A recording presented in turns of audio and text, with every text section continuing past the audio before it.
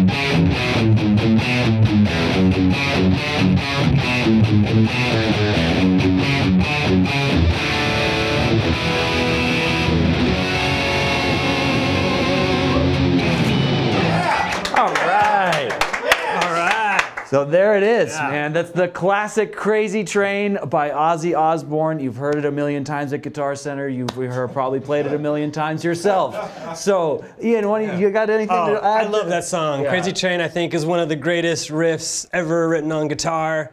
And uh, you know, for you people just learning, it's a pretty easy one to pick up. It's not very many notes. It kind of stays in one position. And uh, fun fact, it was actually the first song I ever played live in front of anyone when I was about 13 at my junior high talent show. I love that. Yeah, I, I it was just say, me and a drummer, and no one, no one sang. We just played half a Crazy Train. There you go. I love that. I'm I'm pretty sure Crazy Train was the first song that I ever played by myself for like six hours in a row in my bedroom. So, which is also valid. You know, this is. yeah. There you go. So we've got some spooky questions from the audience, uh, and let's just dive right in with a couple of those. So, uh, Eagle Bones, what is your favorite horror movie? Favorite horror movie? I'm gonna have to go with The Lost Boys. That's, that's a good one. Yeah, I'm that's that's one of my favorites. And in fact, I um, started a band called uh, Death by Stereo in the late '90s that I named after a line from that movie because I love that movie so much. Nice, nice. There you go. All right, and then let's see one more. What's your favorite horror Oh, movie, well, Taco? my my favorite horror movie, I would say, um, Ringu, which is like the Japanese version of The Ring, because it was like less actiony, but just way more creepy. Got into the backstory of why that weird girl is like doing her thing and what that's all about. So gave me nightmares for about a month and a half. So you know, I feel this is, a good good horror movie. I don't know if Oh, it's yeah. doing that. So let's yeah, let's move on. Since this is a special Halloween episode today, Ian and I are going to be going to head to head with some contests and let you, the viewer, decide who is the ha- the Halloween King, Jack the Pumpkin King. Um, so first up, we're going to do a dive bomb contest. Uh, no discussion of metal is complete without a dive bomb, and you can get some spooky sounds doing these as well. The rules are simple. Ian and I will each give you our gnarliest, meaniest, shreddiest dive bomb, and you'll vote on the one that you think is best. Drop your vote in the comments to decide, so let's do it. All right, Eagle Bones? Here we go.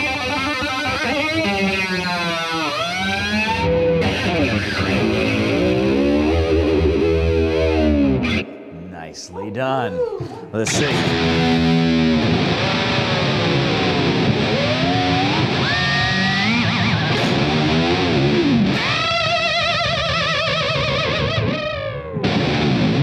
Yeah. It is. All right, so dive bombs. We know one of my favorite silly guitar tricks to do, and you know, metal's all about that. Halloween's time for silly guitar tricks. Exactly. So, uh, Eagle Bones, do you, you you had a favorite dive bomber you want to you want to talk about? Um, well, uh, you know, Eddie Van Halen, Yep, of course. gotta start is there. The master. Yep. Dimebag Darrell. Yes, sir. Of course. And, you know, he might be using it a little too much, but Steve Vai. yeah, love Steve Vai. Yeah. You know, and excess is always like appropriate Oh, for metal. Metal Yeah. dive bombs. Let's go. Yeah. Okay, so while you guys get your votes in, let's jam on another evil Helloween tune. Uh, Fender Play has a pretty extensive selection of metal tunes and skills to get you on the path to metal stardom. We've got great bands like Motorhead, Dio, Halloween, uh, but no discussion of metal is complete without the Godfathers, the great Judas Priest. Let's get into some living after midnight, shall we? One, two, three, four.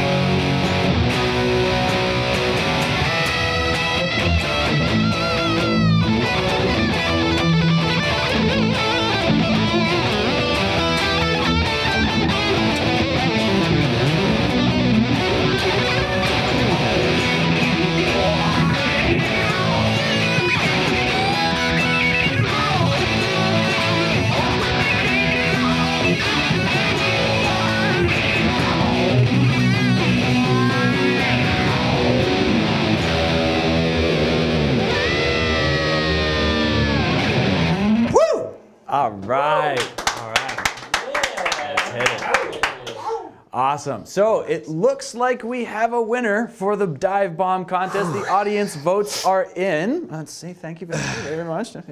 And it's me. Thank you guys. Okay. Jeez.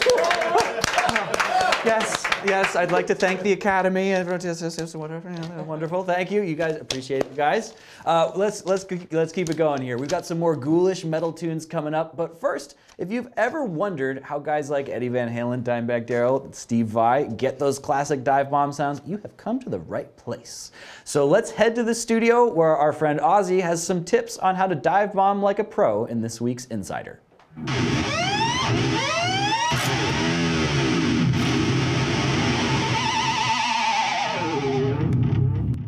Hi guys, I'm Ozzy Carmona, session guitarist and one of your Fender Play instructors. If you've ever listened to 80s metal, you've probably heard one of the classic staples of that genre, the dive bomb. This technique was pioneered most notably by Jimi Hendrix, but really came to be used by a ton of players like Eddie Van Halen, Joe Satriani, and Dimebag Darrell. It's a pretty simple technique that can really give you some wild metal sounds.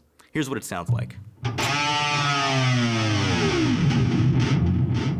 Now before we jump into the technique, it's important to have the right amp setting. You can technically do a dive bomb with a basic clean amp, but if you really want to get that gnarly 80s metal sound, make sure your amp has a ton of high gain distortion and a bit of delay.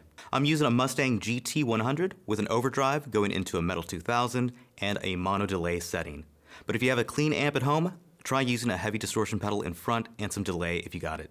Next up, obviously the type of guitar is important as well. I'm playing a Fender Player HSS Strat, which has a humbucker in the bridge position. It also has a locking tremolo system known as a Floyd Rose, which has a floating tremolo bridge and a locking nut. This will allow me to really use the tremolo to an extreme without causing my strings to go out of tune. Check this out.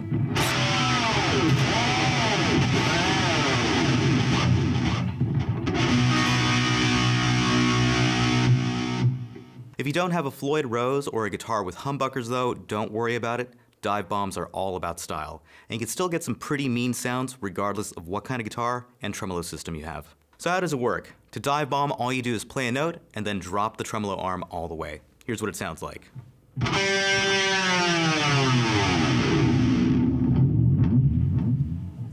That's a basic dive bomb, and it's a pretty simple technique, but the great thing about dive bombs is that there are some tricks you can do to spice it up. One thing you can do is a dive bomb on a harmonic rather than a fretted note. That'll give you a much higher and whinier tone, which can be pretty fun. Here's a dive bomb with a few natural harmonics. Check it out.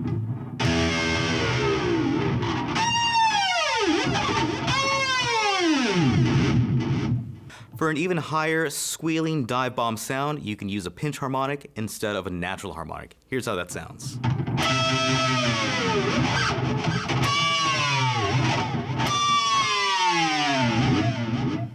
For you fans of Eddie Van Halen, you may sometimes hear him play something that sounds like a horse whinny. Just give the tremolo arm a good shake on the way down. You can also pull up on the whammy bar to go the opposite direction, which gets some pretty awesome sounds too.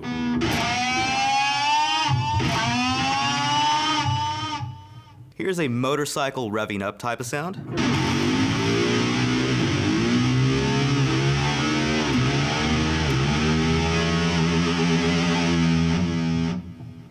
A natural harmonic squeal made famous by Dimebag Darrell.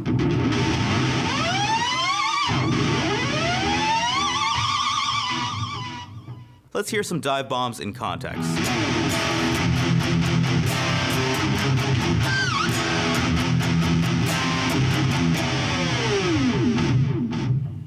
That's all there is to it. Dive bombs are an awesome way to get some out of this world sounds from your guitar. For more in-depth exercises to hone in your skills, check out our lessons on Fender Play. And remember, keep practicing, and we'll see you next time.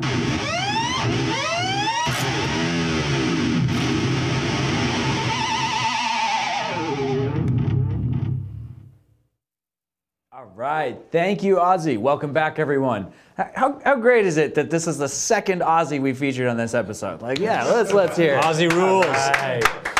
So we've got some more spooky metal tunes for you guys. Let's jump right back in. So next up, we've got a band whose frontman is a horror film director as well as a lead singer. We're talking, of course, about Rob Zombie. So let's jam on Thunderkiss 65 by his former band, White Zombie. All right, on, two, three, on.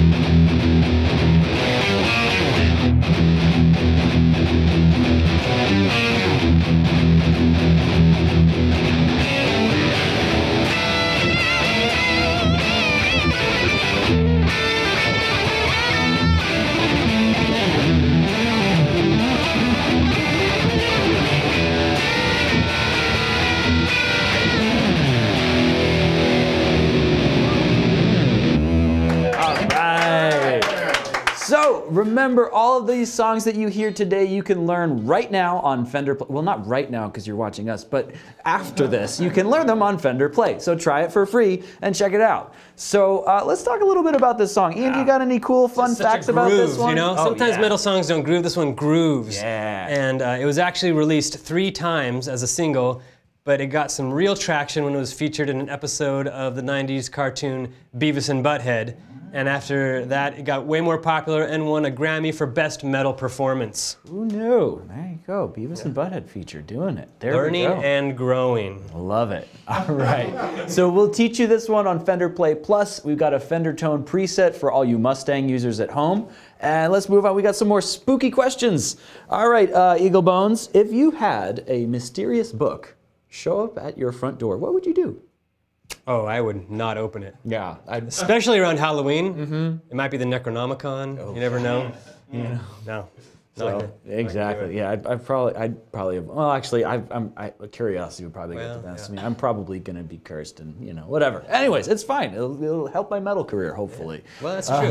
How about this? Helped Led Zeppelin. That's true. There you go. Um, and another another one from our users. Do you have a favorite Fender amp that you like to use? Yes. Well, I have two. Okay. Uh, One for live and one for the studio. Okay. So for live, I like the Fender Bassman. And that is, I use, it's a 1968 Fender Bassman head through an upright 212 cab from the 60s. Sweet. And then in the studio, I love, I have a Silverface Super Reverb 410 combo. Very So cool. those are my two favorite Fender amps, Super Reverb and a Bassman.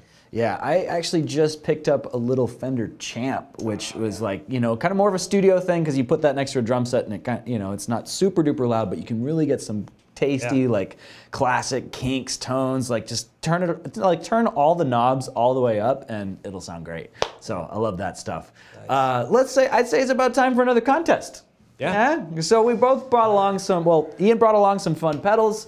Um, I actually switched out guitars. We got a question from one of our users whether it was possible to play metal on a telly, and I wanted to prove that to you right right now. Um, you know, speaking of Rob Zombie, you know, a, a friend of ours uh, and, and a big influence on me is Rob Zombie's guitar player John Five. He's sort of known for being a bit of a Telecaster guy, and I stole a few tricks from him along the way. So we're gonna have a little bit of a contest. We're gonna talk about who can make the weirdest, creepiest, spookiest noise. We're both gonna have 20 seconds to come up with something, and you get to vote on which one wins. It's the classic taco versus superhero. Uh, I'm gonna go first, so give me 20 seconds on the clock, and let's hit it.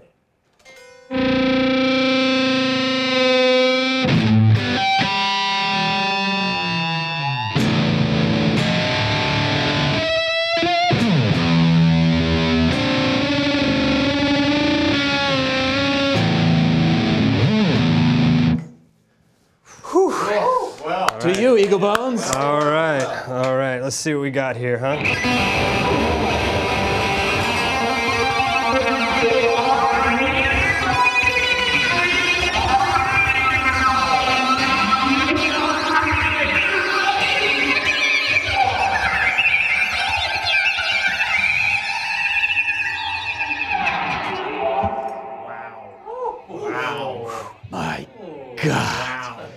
All right. So that was pretty crazy, man. Uh, what, what were you What were you doing over there? Well, uh, some, some that? trills, uh, Great. some uh, diminished Okay. Awesome. chords, and some tapping. Super cool. Love that. Yep.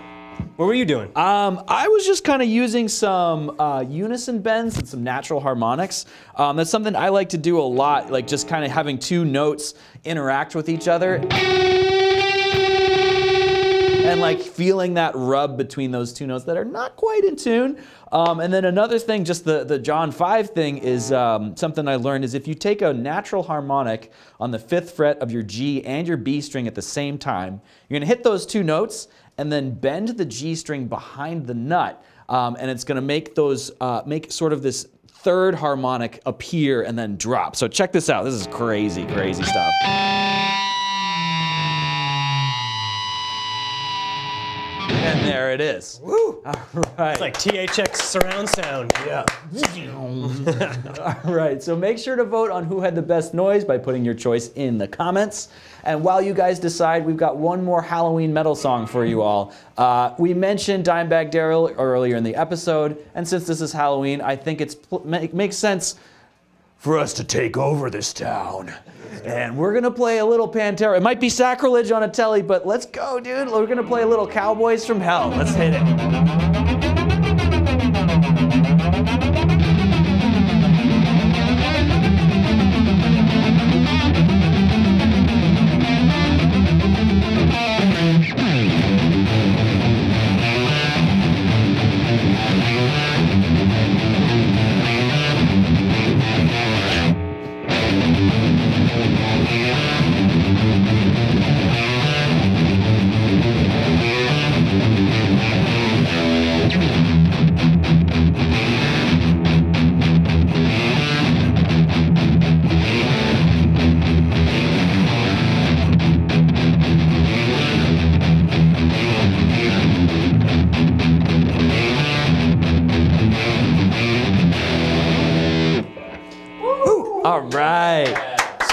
There's a little Pantera for you. You know, you can't mention metal without mentioning Pantera. Just such a unique style, vibe, and groove, and everything we talked about. everything about that, I that love riff, about man. metal. Yeah. So this riff, it's a bit of a, a bit of a pick twister. You know, it's uh, I like to alternate pick it, which might sometimes make things more complicated. But I feel like it's one of those things we were talking about earlier, where it might have just literally been a picking exercise that Dimebag like kind of just did his own thing with. Yeah. That's something you guys can take away from this is, you know, if you have something that's a basic picking exercise, sometimes practicing those things can seem tedious, but if you embrace the mistake, this is something I always like to say, if you embrace making mistakes and changes here along the way, you might come up with something that's unique and totally your own. So uh, that's Cowboys from Hell. Let's uh, let's move on here. I believe we've got another winner for a spooky noise contest. So uh, thank you, sir. I'm gonna take that from you, and let's see. Drum roll, please. And Eagle Bones wins this round. All right, there he is.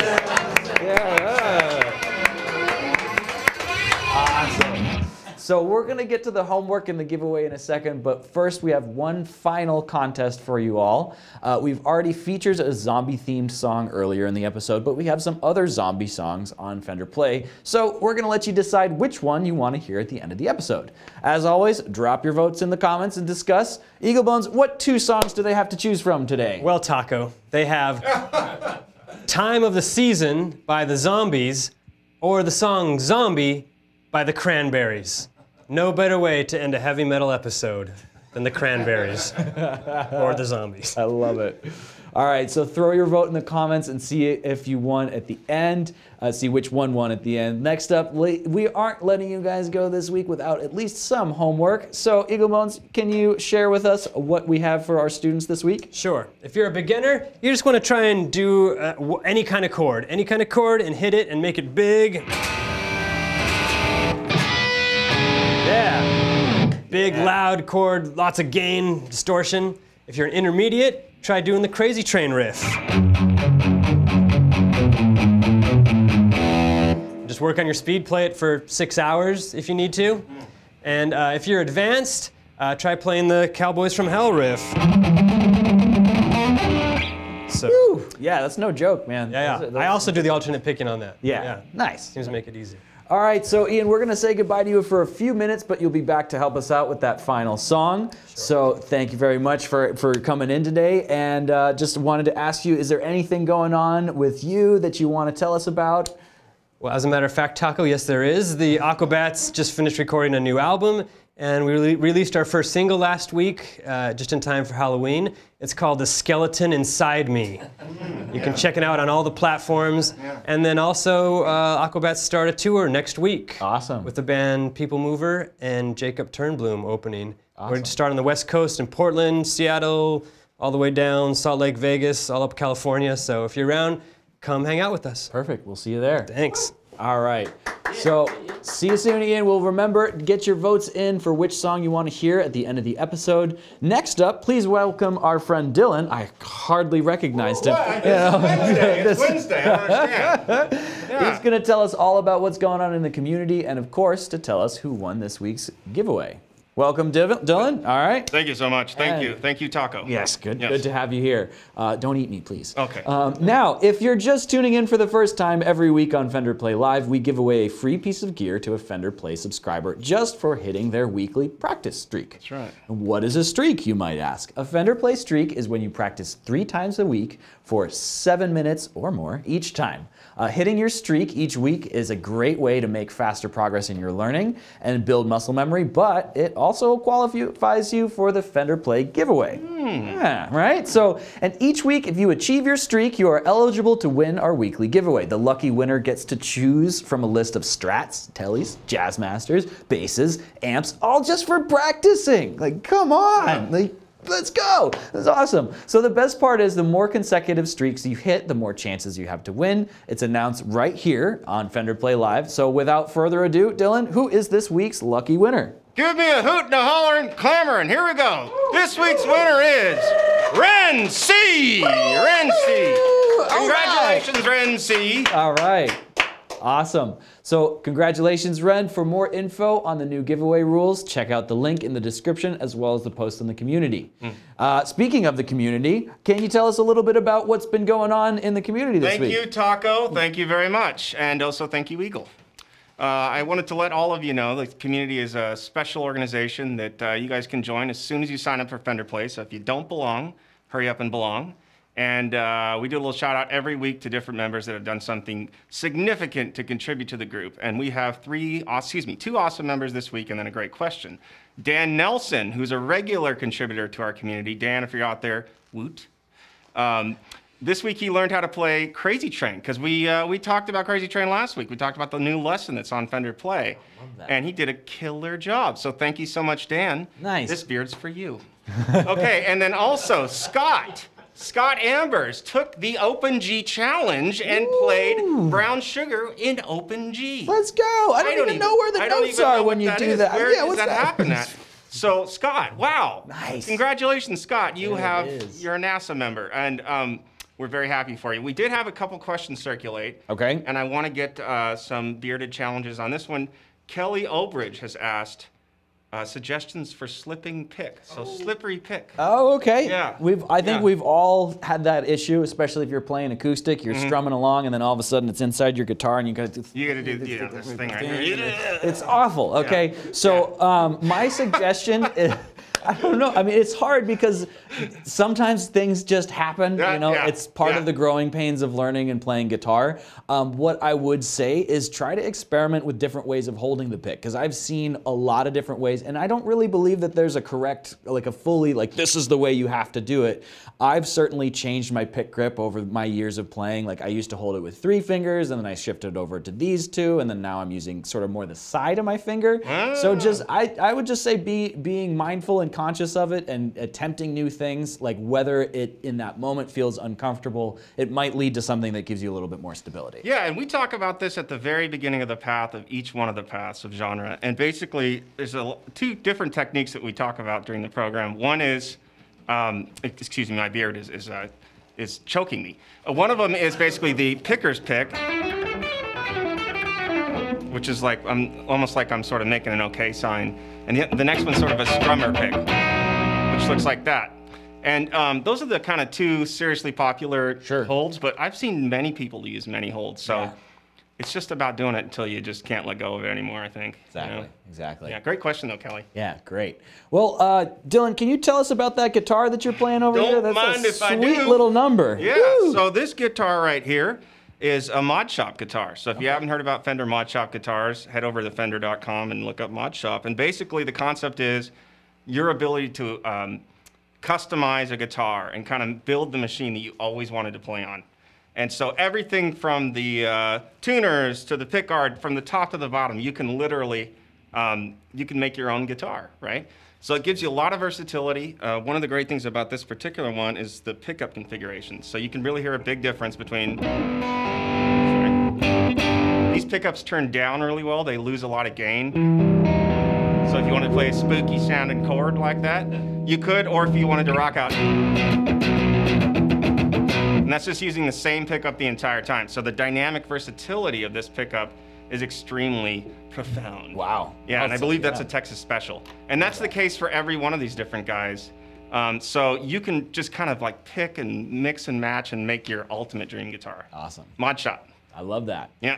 All right. So uh, before we end, we promised that you guys would get to vote on the final song of the episode. So we're gonna bring our friend eagle Eaglebones back on and help us play out. You voted for it, so ladies and gentlemen, Yes. here is "Zombie" by the Cranberries. All right. All right. And Taco, if I might, Yes, uh, sir.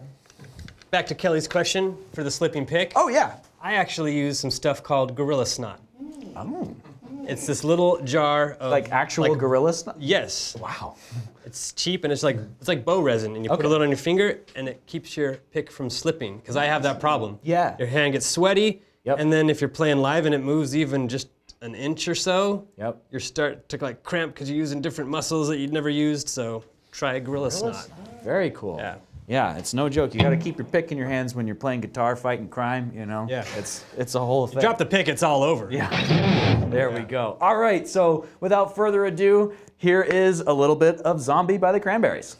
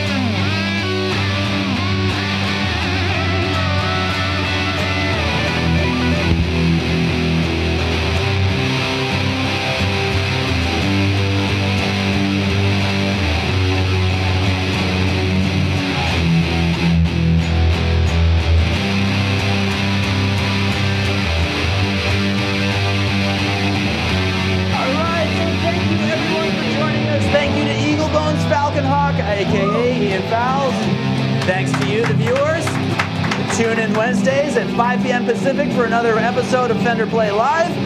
Keep practicing, and we'll see you next time. And it's coming right around. So you ready? Let's strum that G chord.